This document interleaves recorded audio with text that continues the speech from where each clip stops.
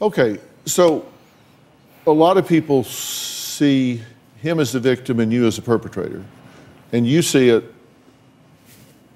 exactly the opposite.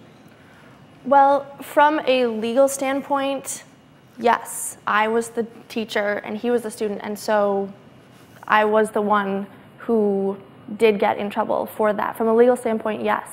But from a psychological standpoint, it's it's so different because he he knew that I was vulnerable. He caught me in my weakest moment and he used that to his advantage.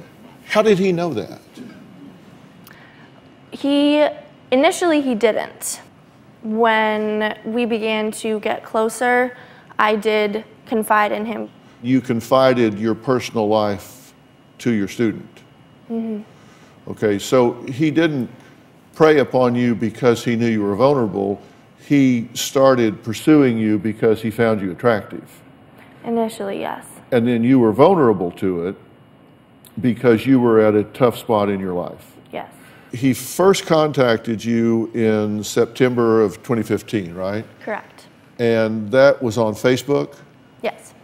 So you just are sitting home at night and you're on Facebook and he pops up and he starts asking you to meet him for coffee and lunch or something like that. Now, at this time, he's not your student. Correct. You, he, you weren't at that school. Right. So, how did he know you at all? Um, I had been a student teacher in the class that he was in. So, at one point, I did have him as a student, um, okay. not technically, I guess. I wasn't in charge of the classroom legally, but I did know him through that. How did you finally decide, okay, I'm going to meet with this person? Well, like you hinted at initially, I did ignore a lot of that um, first because obviously I knew that was, you know, illegal, not allowed, frowned upon, everything. But one night after a particularly bad night with my boyfriend. We had gotten into a big fight. And the next day, I looked at his message and I thought, I'm, I'm just gonna respond.